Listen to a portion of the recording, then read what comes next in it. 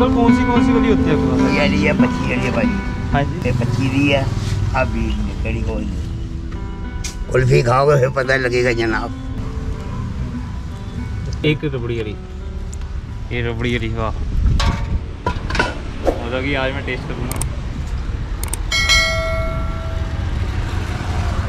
क्या।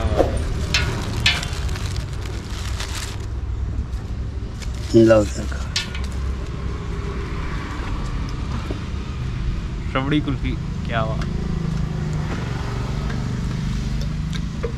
ज़बरदस्त। अंकल ये कितने वाली थी? पच्चीस रुपये पच्चीस रुपए की क्या बात है?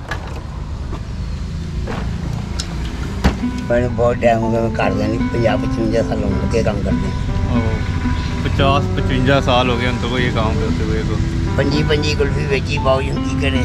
महँगाई के हिसाब ਨਾਲ सब कुछ है अच्छा अच्छा ਆ ਜਿਹੜੀ 100 ਰੁਪਏ ਦੀ ਬੰਦੀ ਦੀ ਜਿਹੜੀ ਹੁਣ 20000 ਦੀ ਬੰਦੀ ਵੀ ਕੀ ਕਰੇ अच्छा ਹਾਂਜੀ ਇਹ ਸਾਚਾ ਕਿਹੜਾ ਹੈਗਾ ਆ 100 ਰੁਪਏ ਦਾ ਇੱਕ ਪੈ ਰਿਹਾ ओहो ਕੀ ਕਰੇਗਾ ਮਹਿੰਗਾਈ ਦੇ ਵਿੱਚ अच्छा ਕਰਨਾ ਪੈ ਰਿਹਾ ਭਾਈ ਜੀ ਢਿੱਡ ਜੋਗਾ ਸਭ ਕੁਝ ਕਰਨਾ ਮਿਹਨਤ ਕਰਦੇ सस्ता सामान मिलता था वो आज इतना महंगा हो चुका है पर महंगाई में भी अंकल आज भी वही दिल था कि हौसला अंकल का बन रहा है और आप लगे हैं अभी भी तो मतलब इंस्पिरेशन लेनी चाहिए इनसे कि कभी भी ज़िंदगी में रुकना नहीं चाहिए मतलब चलते रहना चाहिए। मैं आप लोगों से ये कहना चाहूँगा कि अगर आपको ऐसे ऐसे छोटे छोटे रेडियाँ मिलती हैं, दिखती हैं तो आप इनसे भी ज़रूर खाया करें।